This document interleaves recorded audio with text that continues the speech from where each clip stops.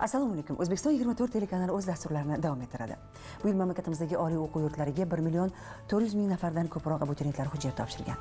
Ularning bir million uch yuz oltmish bir ming nafari test topshiradi. Qolganlari esa ijodiy imtihonlarni topshirishadi. Studiyamizga nizomiy nomidagi toshkent davlat pedagogika universiteti rektori alisher umarovni taklif etganmiz. Studiyamizga xush kelibsiz. Assalomu alaykum. Alisher aka mana siz rahbarlik qilayotgan mana shu oliy o'quv yurtida abituriyentlar ham test topshirishadi ham ijodiy imtihonlarni topshirishadi. Bu jarayon qanday kechadi va bu jarayonlarga qanday tayyorgarlik ko'rilgan? E, mana e, shu kunlarda e, juda ham ko'plab rektorlarimiz oliy va o'rta maxsus ta'lim vazirligi davlat test markazi va mana ommaviy axborot vositalari sizlarga ham rahmat. Juda ham yaxshilab testlarni o'tkazish jarayonlari bularga qanday tayyorgarlik ko'riladi qatlarda o'tkaziladi qanaqa talablar bo'ladi qanaqa imkoniyat sharoitlar beriladi to'g'risida bizni xalqimizga yaxshilab tushunchalar berildi. Lekin ijodiy imtihonlarga kelganda haligacha e, juda ham ko'plab savollarga biz javob berishga e, mana tayyor bo'lishimiz kerak. Mana shu bo'yicha e, nizomiy nomidagi toshkent davlat pedagogika universiteti misolida aytib bermoqchiman. Eng avvalambor aytishim kerakki bu yil mana juda ham to'g'ri aytdingiz bizda bir yarim millionga yaqin e, abituriyentlarimiz ro'yxatdan o'tishgan. Bu judayam bizdagi e, rekord raqam desak bo'ladi. Mana shu rekord raqamni agar e, universitetimizga tatbiq qiladigan bo'lsak mana bu yili bizni universitetimizga salkam ellik mingga yaqin abituriyentlar ro'yxatdan o'tishgan. Shulardan qirq besh mingtasi bular test topshirishadi va qolganlari ijodiy imtihonga kirishadi. Endi ijodiy imtihon topshiradigan yo'nalishlarimiz bu tasviriy san'at va muhandislik grafikasi musiqa ta'limi ona tili va adabiyot bu qozoq tilida dars beruvchilar uchun hamda shunday boshlang'ich ta'lim qozoq tilida dars beruvchilar uchun va jismoniy madaniyat va jumladan xotin qizlar sporti yo'nalishi bo'yicha bo'ladi. Yana bitta bizni ta'lim yo'nalishida bu yerda ham ijodiy kasbiy imtihon va shu bilan birgalikda test e, kiritilishi saqlab qolindi. Bu ham bo'lsa e, e chaqiriqqachon harbiy ta'lim yo'nalishi. Endi mana shu e, yo'nalishlar bo'yicha ijodiy e, imtihonlarni o'tkazilishini hammasi bizni universitet uchun toshkent shahrida o'zimizni hududimizda va jismoniy madaniyat va chaqiriqqachon harbiy ta'lim yo'nalishlarida bu mudofaa vazirligini sport majmuasida o'tkazilishi belgilab berildi. Ijodiy imtihon komissiyasiga mutaxassislar professor o'qituvchilar boshqa ta'lim oliy ta'lim muassasalaridan keladigan e, professor o'qituvchilardan tashqari jamoatchilik mana deputatlarimiz e, ko'zi ko'ringan mana aytaylik e, madaniyat arboblari artistlar va boshqalar kiritilgan. Bularni ochiqlik va shaffoflik tarzida o'tkazilishi uchun barcha tayyorgarliklarni ko'rganmiz. Bizni hududimizda mana shu imtihonlarga abituriyentimiz kirishidan toki chiqishigacha har bir qadamda video kuzatuv o'rnatilgan. Mana shu video kuzatuvlarni har bittasi bo'yicha har bitta mashq bo'yicha har bitta topshiriq bo'yicha buni hammasi to'liq olib boriladi. Biz bularni ikki hafta davomida saqlaymiz. Mana shu imtihondan keyin imtihondan o'tgandan keyin biron bir savol bo'ladigan bo'lsa misol uchun apellyatsiyaga yoki bo'lmasam abituriyentni o'ziga yoki ota onasiga berish uchun biz tayyorgarlikni ko'rib qo'yganmiz. Endi unga qo'shimcha yana ravishda aytadigan bo'lsam bizni e, ijodiy imtihonlarni e, o'tkazishda bu yerda bir qancha raqamli texnologiyalar asoslangan yangiliklar kiritilgan. Misol uchun bizni e, mana shu jismoniy madaniyat bo'yicha o'tkaziladigan yugurishlarda va boshqalarda fotofinishlar hamda mana qo'shimcha o'tkaziladigan tasviriy san'at bo'yicha qiladiganlarga bularga hammasi yozuvini o'sha rangli tasvirda qilinishlariga biz tayyorgarlikni ko'rib qo'yganmiz. Bu yil ota onalarni sal xotirjam qilgan bir jihat e'lon e'lon qildi mana shu test jarayonlari haqidagi xabarlarda. Ya'ni bu yil test savollari bir muncha soddalashtirilgan unchalik murakkab bo'lmaydi degan e, xabarlar tarqadi. Bularga aniqlik kiritsangiz soddalashtirildi deganda nimalar nazarda tutilgan? Biz karantinda bo'lganligimiz uchun bizni maktab o'quvchilari ham bitirish e, e, nima oxirgi choraklari va shunday bizda oliy ta'lim muassasasidagi oxirgi semestrlarni hammasi masofaviy onlayn hamda televizion darslar orqali o'tkazildi. Shularni e, orqasidan mana biz e, shunday e, hukumat komissiyasi shunday qarorga keldiki bu yil o'tkaziladigan imtihonlarni mana yil boshida biz beshta imtihon bo'ladigan bo'lsa hamma yo'nalishlarga faqatgina ikkita imtihon qoldirildi. Bu ikkita imtihonni bo'yicha test topshirilishida ham avvallari shunday narsa berilardi bu test savollarini misol uchun beriladigan savollarni bir qismi birinchi darajali bu soddaroqlari ikkinchisi o'rtacha uchinchisi bu ancha qiyinroq va to'rtinchisi faqatgina olimpiadada va maxsus tayyorlangan o'quvchilar tayyorlanadigan tayyorlanadigan savollar bo'lardi. O'ta murakkab savollar. O'ta murakkab savollar. Mana bu yili o'sha o'ta murakkab savollar umuman berilmaydigan bo'ldi testda. Endi mana shu uchinchi gruppa ya'ni o'rtachaga nisbatan murakkabroq degan savollarni soni ham qisqartirdilar oltitagina savol bo'ladigan bo'ldi. Endi birinchi va ikkinchi guruhdagi savollar bular o'n ikkitadan bo'ladigan bo'ldi hammasi bo'lib har bir fan bo'yicha o'ttiztadan savol beriladigan testlarga tushdik. Endi mana shularni ichida ham ularni joylanishi hamda mana shu e, ularni tayyorgarligi bo'yicha chiqadigan programmada chiqayotganda mana o'zinglar ko'rishinglar mumkinki o'tgan yilgi va mana undan avvalgi yilgi bo'lgan testlar e, e, davlat test markazi orqali ochiqlanib berildi va bu yil hattoki bularga bir necha marta mana onlayn tarzda mana shular bo'yicha mashq qilishga ham ochib berildi. Hattoki shular ham tushishi mumkin deb kecha davlat test markazini rahbari aytdilar. Ya'ni har tomondan qaraydigan bo'lsak qaysi bir o'quvchimiz haqiqatda o'z ustida ishlab e, darsini qilib repetitor bilan shug'ullandimi yoki bo'lmasa maktab o'qituvchisi bilan shug'ullandimi yoki o'zi shug'ullandimi shu bo'yicha bo'lsa albatta kiradi. Va mana shu kirishiga man e, juda ham ishonchim komil. Sababi testlarni o'tkazish jarayonlari ham ochiq shaffof qilingan. Shuning uchun hech kim hayajonlanib qo'rqmasligini e, biz iltimos qilardik. Mana shuncha summa bersangiz shuni evaziga bolangizni oliy o'quv yurtiga kiritib qo'yaman degan nima deydi ishonch bilan gapiradigan odamlar bor. Agar hamma narsa shaffof bo'lsa o'sha tasvirga olinsa mana shunday odamlar nimaga ishonib bu fikrlarni va bu va'dalarni berishadi? Endi ehm, eng avvalambor aytishim kerakki bu ko'pchilikni fikri emas. Hozir ko'pchilik tushunib qoldi. Mana hattoki bu yil e, hujjat topshirishdan oladigan bo'lsak avvalgi yillari hujjat topshirish uchun bir necha kunlab navbatda turib hujjati qolib ketgan bo'lsa yana qaytadan uni kirish uchun nima qilib bu orqali aziyat chekib buning uchun oliy ta'lim muassasasi masalan uzoqda bo'lsa shu yerga yana transportda borib o'sha aziyatlardan umuman xoli ravishda e, hujjatlarni topshirishdi. Ba'zi bir ota onalar kelib mandan so'rashdiki besh minutda hujjat topshirdik. Hamma ichida attestati ham bor ekan. Shunda pasport nomerini berishi bilan ichkari kirib ketdi. Bu juda yam oson bo'ldi.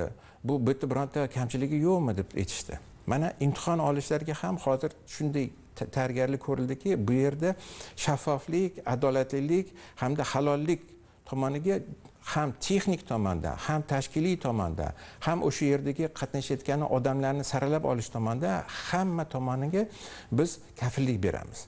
Endi mana shuni orqasidan baribir kimdir chiqadi.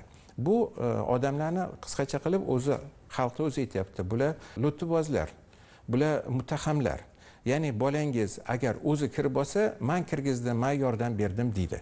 O'zi hech nima qilmaydi. Chunki o'zini qilish uchun qo'lidan hech nima kelmaydi. Bu mexanizmlar hammasi hozir to'xtatilgan va bu mexanizmlarga aralashish na davlat test markazini baho qo'yishiga na o'sha yerdagi imtihonda o'tayotgan birontasini iltimos qilib shpargalka olib kelib berishga yoki bo'lmasa unga qanaqadir bir yordam berishga hech qanday imkoniyat yo'q. Chunki hamma joy kamera hamma joy nima qilindi? Buni mana to'rtinchi yildan beri o'tkazyapmiz hozirgi paytda buni hattoki chet eldan kelayotgan ekspertlar ham aytishyapti. Bu yerda har bir narsa kamerani tagida kattalashtirib ko'rsatilyapti.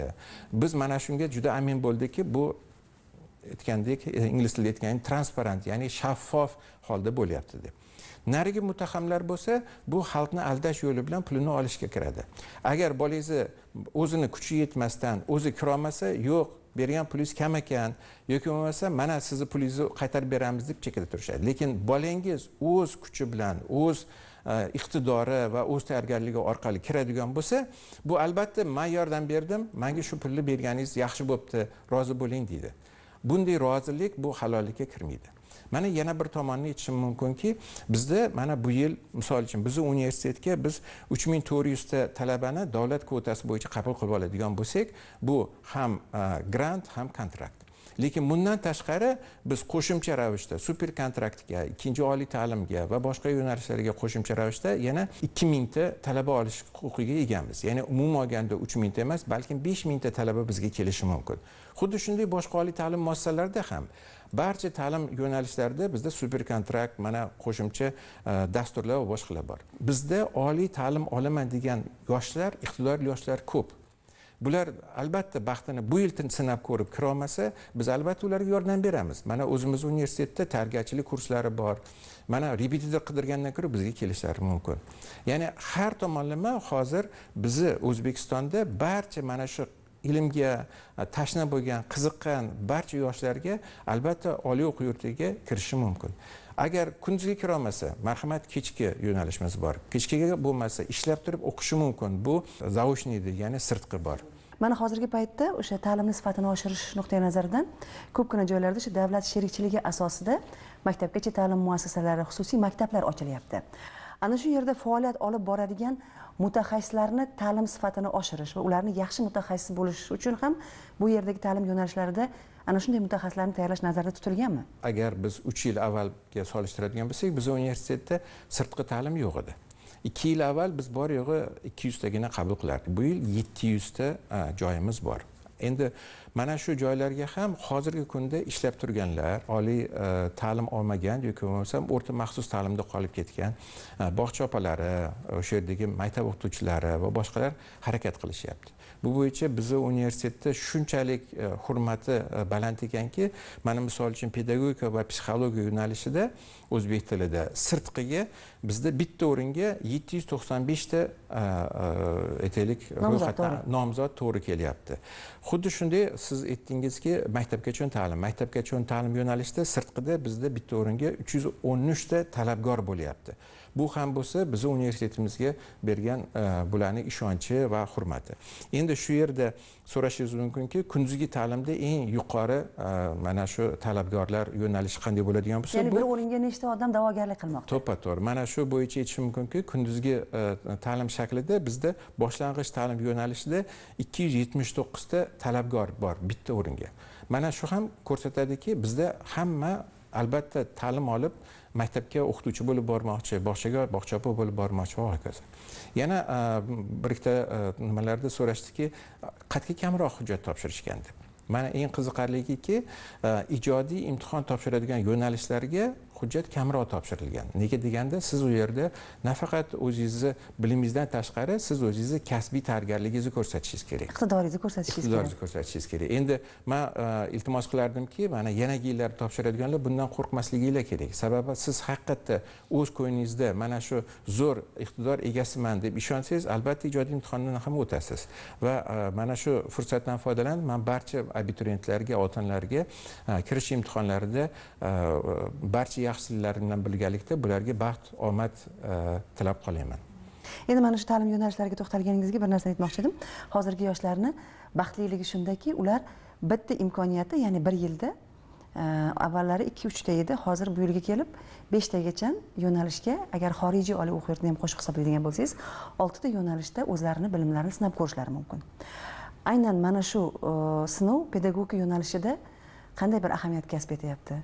Talabgorlar qiziquvchilar. To'g'ri mana qarang e, yaqinda e, hammaga e'lon qilishdi e, eng hujjat ko'p topshirgan oliy ta'lim muassasalari. Albatta bu yerda mana samarqand davlat universitetiga topshirishgan va boshqalar. Bizni nizomiy nomidagi toshkent davlat pedagogika universiteti biz hammasini ichida oltinchi o'rinda turibmiz. Bizga e, ellik mingga yaqin e, abituriyentlar ro'yxatdan o'tib hujjatini topshirishdi. Endi mana shu e, oladigan bo'lsak bu degani bizda hozir oxirgi uch yil ichida ta'lim sohasida boshlagan islohotlarni natijasi deb bilaman. Sababi maktablarda biz o'qituvchilarimiz oyligi anchagina oshdi. Mana xuddi o'zi aytgandek hamma joylarda maktabgacha ta'lim muassasalari ochilyapti. Xususiy sherikchilik davlat sherikligi asosidagi maktablar ochilyapti. Va umuman olganda bizni e, xalqimiz orasida o'qituvchilik kasbiga bo'lgan hurmat ularga bo'lgan munosabat o'zgaryapti va buni orqasidan mana yana qo'shimcha e, aytishim mumkinki bizda zamonaviy maktablar ko'payyapti shuning uchun zamonaviy maktabda zamonaviy o'qituvchi bo'lib ishlashga nima yetsin deb topshirganlar shular bo'ladi.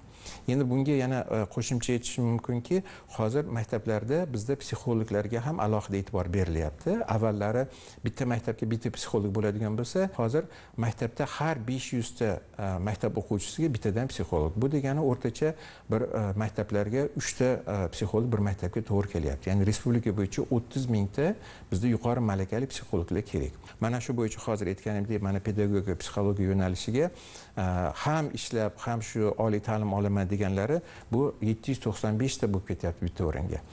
Endi e, bunga qo'shimcha ravishda biz amaliy psixologiya bo'yicha yo'nalish bo'yicha e, e, abituriyentlarni topshirishgan va pedagogik psixologiya bo'yicha. Endi yana qo'shimcha bo'lishi mumkin maktabgacha bolalarni psixologiyasi ham yo'nalishi ochilgan. Endi mana shu ta'limga berilayotgan e'tibor jarayonida Mm. yuqori darajada bir masalaga alohida e'tibor qaratildi ya'ni oliy o'quv yurtlariga kirishda qizlarga alohida kvotalar ajratilishi. Mana shu e, pedagogika universitetida bu masala e, qanday hal qilinyapti va o'sha talabgorlar kimlar va sizlar kimlarga mana shunday bir imtiyozlardan foydalanishga sharoit yaratdingizlar? Endi e, mana respublika e, qabul komissiyasini qarori bilan e, umuman barcha oliy ta'lim muassasalariga yettita guruhdagi abituriyentlarga alohida imtiyozlar berilgan. Bu siz hozirgina aytganingizdek qizlarimizga alohida bu bo'lsa ham hamma oliy ta'lim muassasalarida kesimida berilgan. Bizni masalan oliy ta'lim muassasamizni veb saytida ham buni sonini berganmiz. Xuddi shunday harbiy qurolli kuchlarda xizmat qilganlar o'zini harbiy qismidan tavsiya olib kelganlari bor. Ichki ishlar va harbiy xizmatda e, ota onasi xizmat qilganlar bor. Shularni ichida nogironlar ham bor. Va yana alohida mana so'x e, anklavidan hujjat topshirgan abituriyentlarga alohida imtiyozlar bor. Lekin e, shunga qaramasdan man aytishim mumkinki nizomiy nomidagi toshkent davlat pedagogika universitetiga aslida o'zi qizlar ko'proq topshirishadi. Nega deganda pedagogika sohasiga mana maktabgacha ta'lim boshlang'ich ta'lim deysizmi bunga qizlarimiz ko'plab e, harakat qilishadi. Endi man bu yil e, shuni ko'rdimki bizda qizlarimiz nafaqat bu yo'nalishlarga balkim jismoniy madaniyat hattoki chaqirchi harbiy ta'limga ham o'zlarini hujjatlarini topshirishgan. O'ylaymanki mana shuni orqasidan orqasidan bizni qizlarimiz haqiqatda oliy ma'lumotli bo'lishi bu shuni o'zini oilasida ota onasi shunga ko'mak berishi va qizlar ham mana yigitlar bilan baravar ravishda jamiyatda o'zini e, haq huquqiga ega bo'lishi hamda oliy ma'lumotli bo'lib o'zini ish e, hayot yo'lini topib ketishiga dalolat deb bilaman. Endi mana shu test imtihonlari yaqinlashgani sari mana shu test imtihonlari o'tgandan keyin yoshlar bilan birga ularni ota onalarini o'ylantiradigan bitta jiddiy masala bor. Ya'ni test sinovlarining javobi qachon chiqadi? Va bolam talaba bo'lgan bo'lmaganligini men qachon bilaman? degan bir haligi ichki bir hayajon hammani o'ylantiradi. Shu haqida gapirib o'tsangiz. Bizda barcha e, bakalavriat e, hamda magistratura yo'nalishlariga imtihonlar test imtihonlari ikkinchi sentyabrdan boshlanadi. E, Ob havo sharoitiga va joylardagi tashkiliy ishlarga binoan bu o'n to'rtinchida o'tkazilishi berilgan. Endi uzoq bo'ladigan bo'lsa ikkinchi chisladan toki e, o'n oltinchi yigirmanchi chislagacha barcha test e, sinovlari o'tadi. Bizda davlat test markazi shunday yaxshi narsani qilganki sizni farzandingiz bugun imtihon topshirsa siz ertaga uni shaxsiy kabinetdan necha ball olganini bilishingiz mumkin. Lekin mana shu e, ball bilan bu qaysi oliy ta'lim muassasalariga o'tdi degan javobga respublika qabul komissiyasi barcha e, kirish imtihonlari testlar ijodiy imtihonlarni yakuniga qarab yigirmanchi yigirma ikkinchi sentyabrda e'lon qiladi. Va mana shu e'lon qilinganda albatta biz hamma e, Э, ommaviy axborot vositalari o'zimizni saytlar o'zimizni call centerlar va mana shu e, abituriyentlarni shaxsiy kabinetlar orqali bu ma'lumot yetkaziladi. Va ana shundan keyin hamma o'ylaymanki e, qaysi oliy ta'lim muassasasiga kirganligini bilib olishadi. Agar bordiyu mana shu abituriyentlarni orasidan kimdir mana shu imtihon kunlarida koronavirusga chalingan bo'lsa davolash jarayonlarini boshdan kechirayotgan bo'lsa unga ma'lum bir vaqtdan keyin test sinovlarida ishtirok etish sharoiti yaratiladimi yoki keyingi yilga qoladimi? Endi bu yerda shunday narsani aytish kerakki bu faqatgina koronavirusga chalinib davolanayotgan emas balkim mana e, kimdir test topshirgani keldi. Testga kirayotganda albatta bu majburiy pirometriya ya'ni tana haroratini o'lchashdan o'tkaziladi. Shu yerda tana harorati belgilangandan yuqori bo'ladigan bo'lsa unday talabalar imtihonga e, qo'yilmaydi. Va bularga keyinroq e, sharoit yaratib beriladi. Ya'ni mana misol uchun tana harorati o'sha yuqori bo'ladigan bo'lsa bularga o'sha kirish imtihonidan keyin bir to'rt kun davomida ma'lum bo'ladi. Qaysi yana guruhlarga qo'shilib kirishi mumkin va barcha testlar o'tkazilgandan keyin ham yana to'rt kun davomida bularga imkoniyat beriladi. Endi bularni topshirgan imtihonlarini javobi qanchalik tez chiqadi degan savollar ham berishyapti. Albatta bularni e, topshirgan testlari hammaga baravar ravishda bir sutkada chiqadi va yigirmanchi yigirma ikkinchi sentyabrgacha hamma javoblar asosida kim qayerga kirganligi ma'lum bo'ladi. Shu yerda yana bir narsani aytishim kerakki ba'zi bir e, e, aytaylik abituriyentlarimiz afsuski davolanish ham har xil bo'lyapti kasallanishiga qarab. Davolanish muddati bu e, e'lon qilingan muddatlardan cho'zilib ketadigan bo'lsa yoki haqiqatda mana e, ikkinchi marta kelganda ham o'zini e, kirish bo'yicha o'zini tana harorati yuqori bo'ladigan bo'lsa unday holda u yana yilga qolishga majbur bo'ladi. Hozirgi kunda o'sha huquqshunoslik iqtisodiyot ta'lim sog'liqni saqlash sohasidagi oliy ta'lim muassasalariga nihoyatda talab yuqori ya'ni ko'pchilik shu sohani tanlaydi. Lekin imtihonni topshirdi deylik. Natijasi chiqqandan keyin bir ball ikki ball yetmaslik holatlari juda ham ko'p bo'ladi. Ular mana shu bali bilan boshqa biron oliy o'quv yurtini tanlab o'qishni davom ettirishi mumkinmi? Shunday imkoniyat bo'ladimi? Endi mana qarang bu yerda bu qiziq savol sababi mana misol uchun bu har bir abituriyentimiz beshtagacha oliy ta'lim muassasasini tanlagan. Bu degani misol uchun birinchisiga kirolmasa yetmasa balli bu shunday ko'rib chiqiladi. Birinchi tanlaganini grantiga balli yetdimi yetmadimi? Yetmadi bo'lsa keyin kontraktga ko'rib chiqiladi. Keyin u kontraktga ham yetmasa keyin ikkinchi uchinchi va toki o'sha beshinchi oliy ta'lim muassasasini grant va kontraktni ko'rib chiqadi. Endi barchasidan topshirolmaganlik bo'lishi mumkin. Barchasidan topshirolmaganlar ular haligi aytganimdek bular super kontrakt asosida o'zi mana shu yo'nalish to'g'ri keladigan oliy ta'lim muassasasiga hujjatini topshirib shu e, oshirilgan kontrakt to'lov asosida o'qishga huquqiga ega bo'ladi. Yoshlarimiz qaysi yo'nalishni tanlashdan qat'iy nazar? Biz ularga bu yilgi imtihonlarda omad tilaymiz. Eslatib o'tamiz bizning bugungi suhbatdoshimiz nizomiy nomidagi pedagogika universiteti rektori alisher umarov bo'ldilar. Studiyamizga xush kelibsiz. Mazmunli suhbatingiz uchun rahmat sizga. Sizga ham rahmat Thank you.